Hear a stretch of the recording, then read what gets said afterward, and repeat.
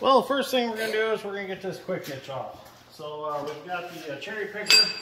We were going to use the Bobcat, but uh, it's too cold out for Bobcat to start. So we're going to take the top pin out first here.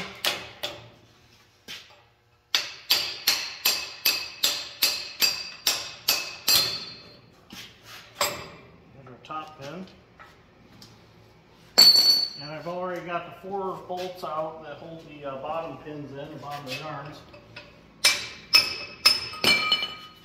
Now we did drop the uh, three-point hitch down part way just so it wasn't so high in air.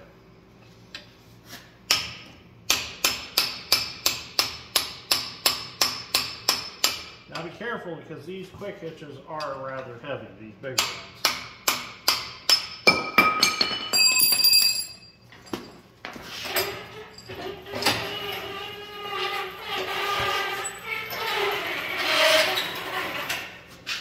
I'll just-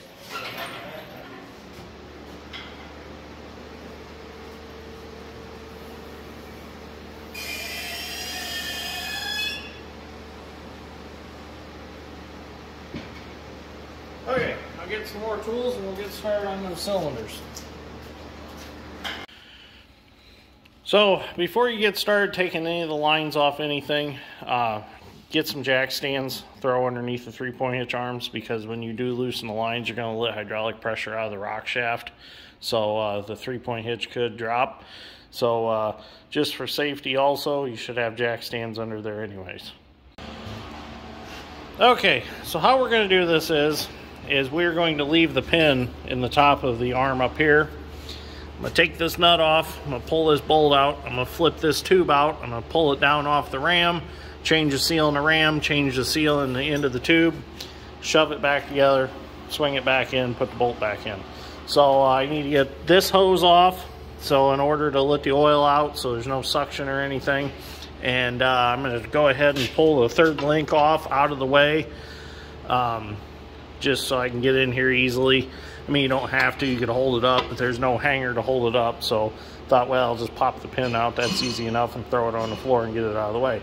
So Dad's Strength's gathering up some tools for me, and uh, we'll get this all taken, taken apart. All right, we'll get this third link out of the way.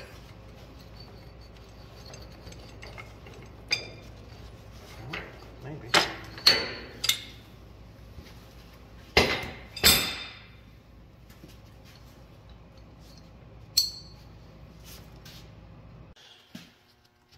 Well, now that we got our cotter pin out of that nut, which that was a bear to get out, we'll go ahead and we'll uh, loosen it up.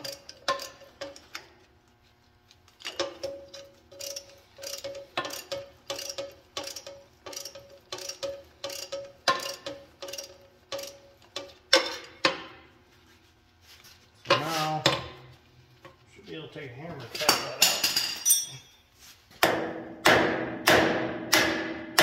Yep.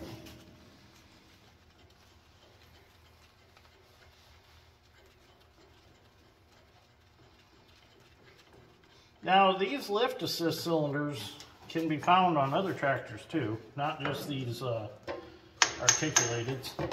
They, uh, the front wheel assists have them. Um, well, I guess any big tractors have them. Those bolts are tapered, aren't they, where they go in the cast? So now, I've got that off. I'll go ahead and finish taking the line off here. We do have a drain pan. You want a drain pan.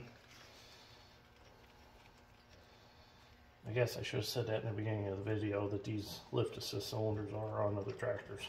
Because I don't, I don't think sometimes when I go to make videos. Oh, it can be messy.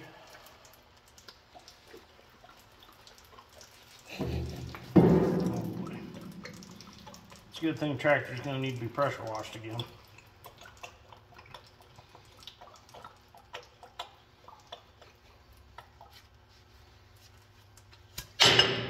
Oop, that was good on the chrome. Dump the oil out in the drain pan. And then we'll go clean these up in a pressure washer. Show the seals. Or parts washer, pressure washer. Yeah, them seals were uh, trash. So we got the seal there. And there is no seal on the Ram, that's right. There's just the seals inside the barrel of the uh, assist cylinder. And the, uh,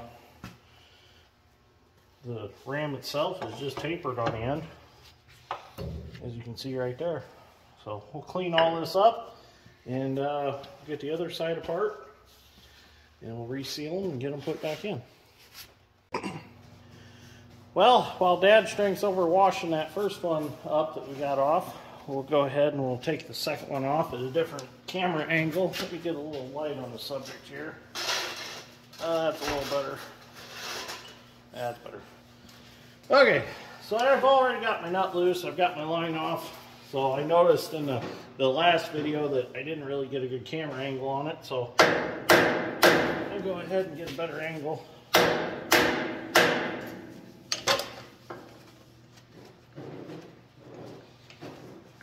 Maybe I won't drop the ram this time and potentially nick the chrome off of it.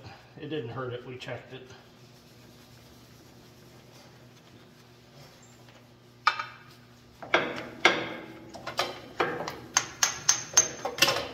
Okay, pins are out.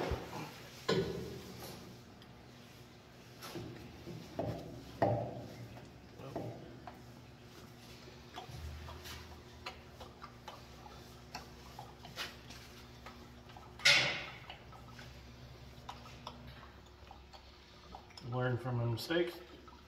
Hold that ram. There we go. Dump that one out. We'll have a look at our seal. Yep, seal's gone out of that one too. Okay. Dad's strength took it to the uh, parts washer. He'll clean it up. I'm gonna get some of this stuff cleaned up and then we'll move on to resealing them. Well, Dad's strength's over here uh, scrubbing away on this. Got it looking pretty good. Uh, we done a video on this Carlyle Tools Napa parts washer back when we got it. Done a video of putting it together and stuff. And uh, some of you guys had asked for a follow-up video on this parts washer. Uh, this thing has been wonderful. It's been about a year now since we've got it.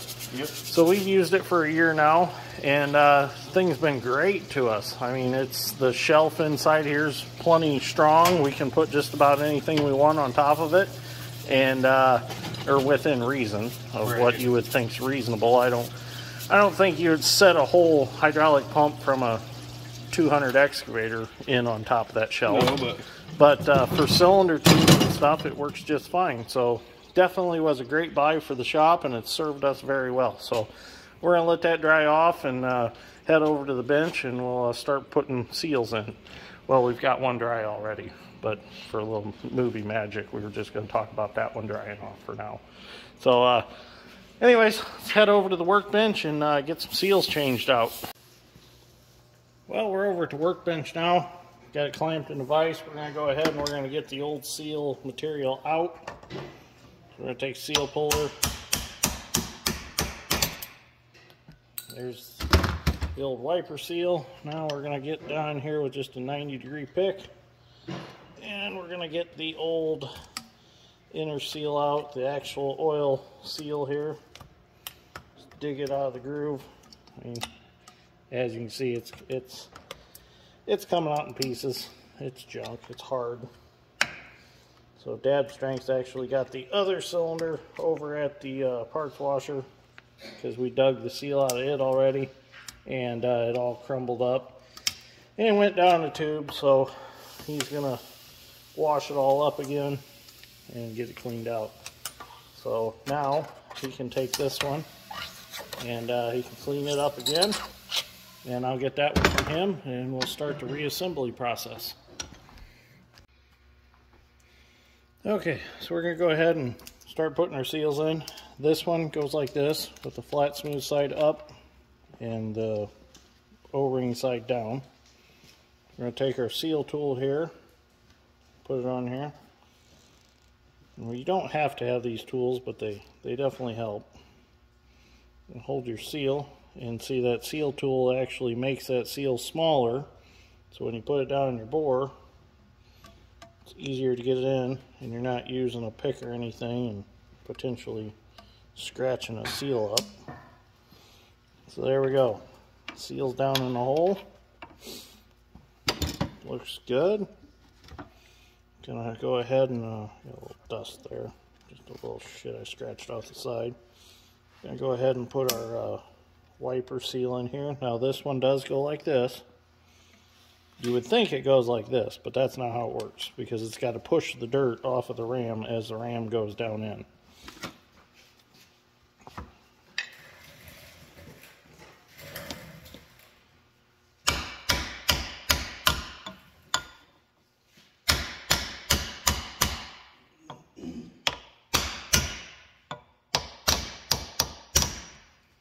Make sure it's flush with the top of the tube. And there we have it. This one's ready to go back on the tractor.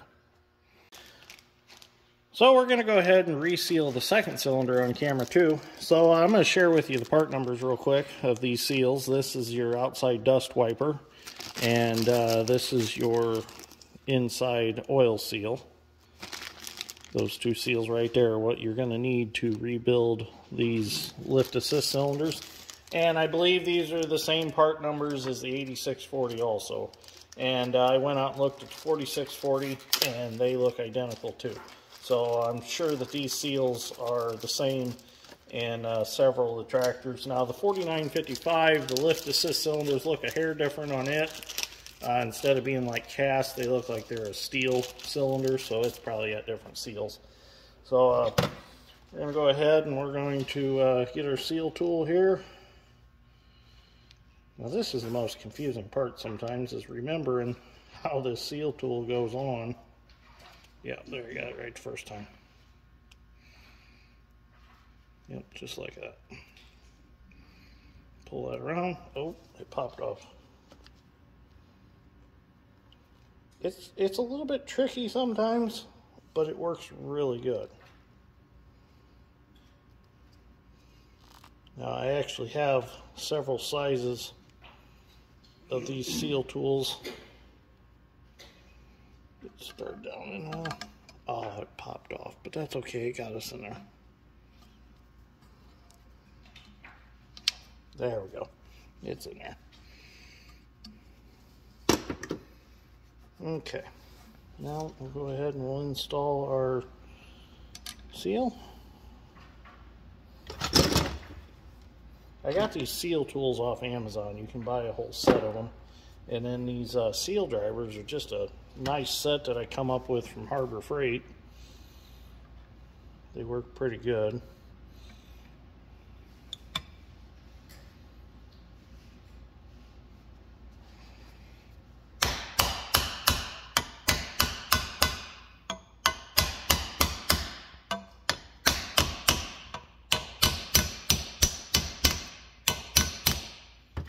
go. Now we'll uh, get some white grease and put on the seals and uh, we'll take them and put them back on the tractor. So basically white grease, just some white lithium grease. This will disappear in the oil. It'll be no big deal. We're just gonna get it down in there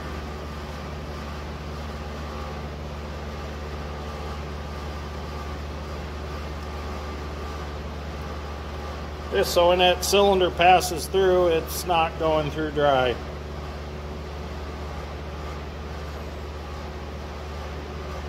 Okay, I'll do that on the other cylinder and then uh, we'll go put them on the tractor. Well, we're back at the tractor now, so we're going to go ahead and uh, get these cylinders put on.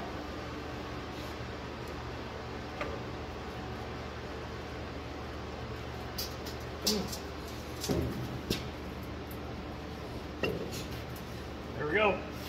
There's some resistance there now. The way it should be.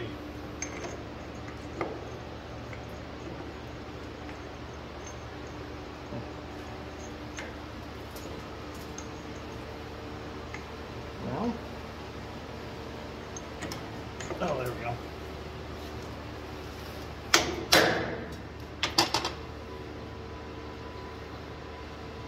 Okay, there's one on do the other one.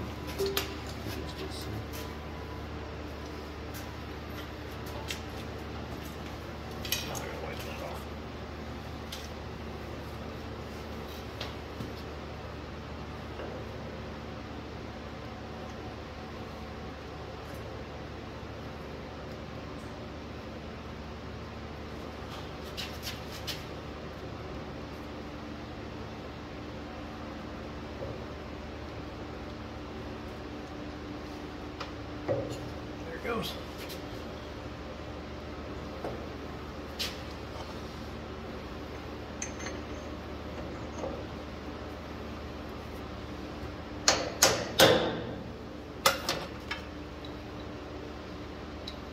Okay, we'll go ahead and get our nuts tightened back up. Get our uh, hydraulic lines put back on, tightened up. And we got to get our cotter pins all put back in our nuts. Then uh, we'll do some work to the quick hitch and uh, get it put back on.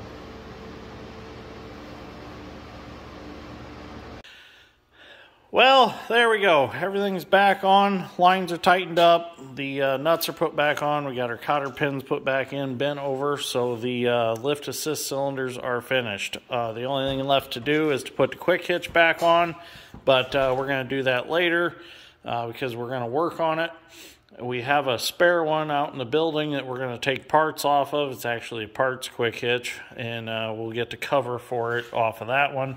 But the problem is it's buried in the building right now, and we can't get the Bobcat started because it's a little too cold out to uh, go dig it out. So uh, we'll just we'll fix that quick hitch and do maybe a video on that later.